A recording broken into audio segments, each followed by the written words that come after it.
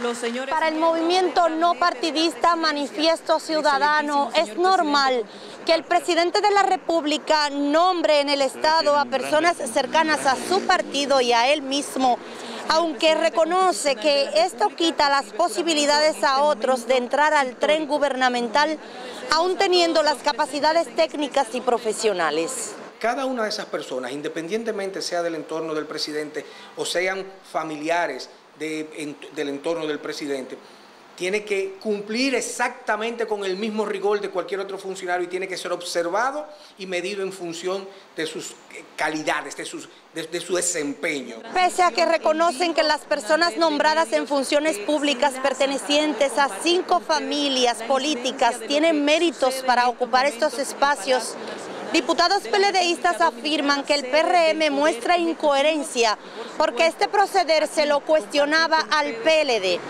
Sin embargo, PRMistas dicen que los hijos y familiares de los políticos no pueden ser condenados a no ocupar puestos en el Estado. Antes tenían la guitarra, ahora tienen el violín.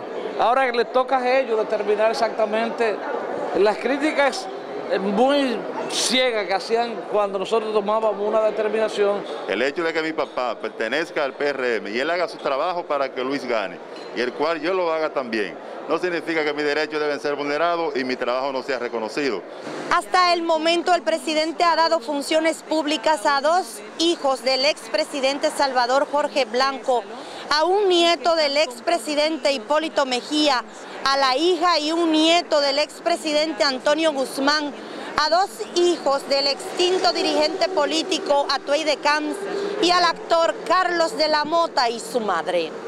El gobierno no está designando por apellido, está designando por mérito.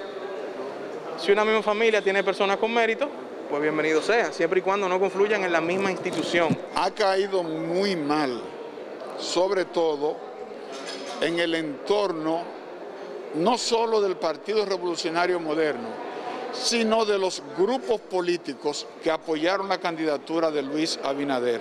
Las partes consultadas sobre este tema coinciden en que estos nombramientos no incurren en nepotismo, porque los mismos no se hicieron por privilegios o abusos de poder. Catherine Díaz, Noticias SIN.